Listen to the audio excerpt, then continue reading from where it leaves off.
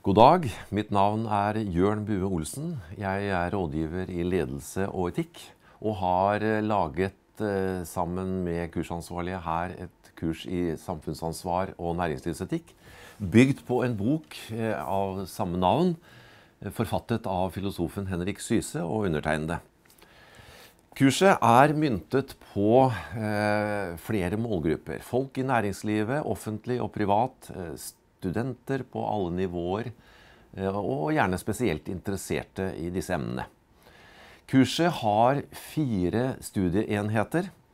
Eh, hver studieenhet har en del eh, både tankedelingsoppgaver og bloggoppgaver, og skal da avsluttes med en innsendingsoppgave som rettes av undertegnede. Disse må være bestått for at dere til slutt skal kunne få et kursbevis. Ellers så, som dere ser, har vi laget en liten video som er også en introduksjon til hver del av kurset. Eh, boken eh, til kurset er eh, skrevet så pedagogisk som mulig, med oppsummering på hvert kapittel, med stikkord i margen, med stikkord bak i boken osv.